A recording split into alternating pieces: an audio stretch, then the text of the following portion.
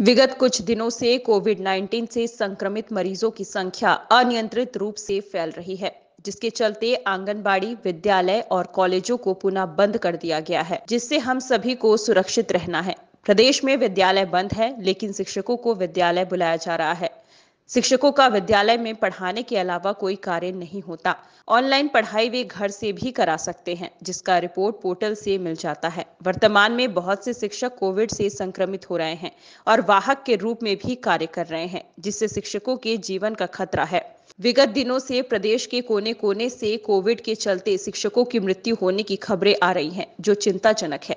ऐसे में शासन को चाहिए कि शिक्षकों को घर पर ही रहकर ऑनलाइन पढ़ाने का कार्य सौंपा जाए अथवा बारी बारी से शालाओं में बुलाया जाए, जिससे संक्रमण का खतरा कम हो। कोविड 19 के रोकथाम के लिए वैक्सीनेशन का कार्य भी जारी है। एक अप्रैल से 45 वर्ष से अधिक उम्र वाले सभी नागरिकों को वैक्सीनेट किया जाना है, जिसमें शिक्षकों की भी मदद लेने की तैयारी है। इसके लिए कुछ जिलों में विधिवत आदेश जारी किया गया है। ज्ञातव्य है कि कांटेक्ट ट्रेसिंग के कार्य में शिक्षक अपने कर्तव्यों का पालन कर रहे हैं। शिक्षकों को वैक्सीनेशन कार्य में सम्मिलित करने से संगठन को कोई आपत्ति नहीं है।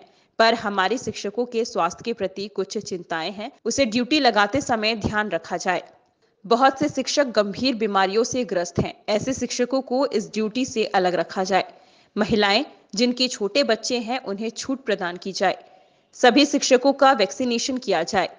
स्वास्थ्य कर्मियों की तरह शिक्षकों का भी बीमा किया जाए। कोरोना किट, मास्क, सैनिटाइजर आदि सामग्री उपलब्ध कराया जाए।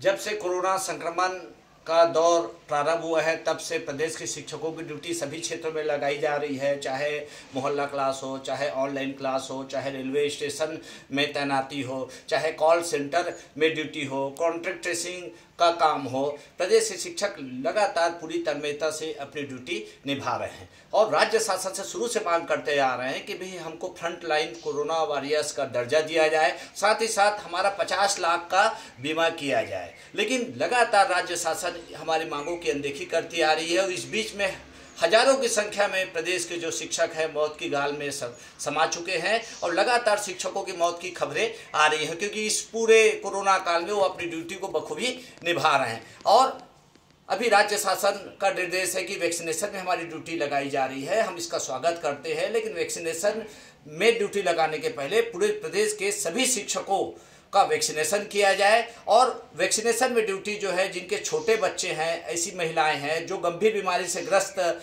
हमारे शिक्षक हैं, ऐसे लोगों की ड्यूटी न लगाई जाए। हम शासन और प्रशासन दोनों से इसकी मांग करते आ रहे हैं, लेकिन पचास लाख का बीमा कवर किया जाए, पूरे प्रदेश के कोरोना शिक्षकों का वैक्सीनेशन किया जाए, उसके पश्चात ही ड्यूटी लगाई जाए। अन्यथा जो है, संघ जो है, इस इस ड्यूटी का विरोध करने के लिए बाध्य होगा, जिसकी पूरी ज़िम्मेदारी शासक और प्रशासन की होगी।